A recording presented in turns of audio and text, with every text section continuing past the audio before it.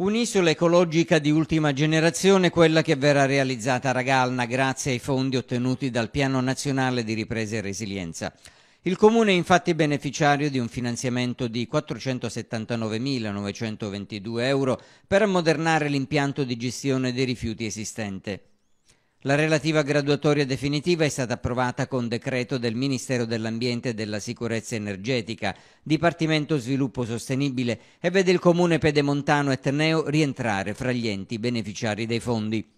A consentire lo stanziamento è la missione 2 Rivoluzione Verde e Transizione Ecologica che prevede la realizzazione di nuovi impianti di gestione rifiuti e ammodernamento di impianti esistenti, come quello di Ragalna. In particolare nel centro comunale di raccolta verrà potenziata la digitalizzazione nella gestione dei rifiuti urbani e verranno rafforzate le infrastrutture per la raccolta differenziata con ammodernamento degli impianti di trattamento, carta, vetro, organico ed altro.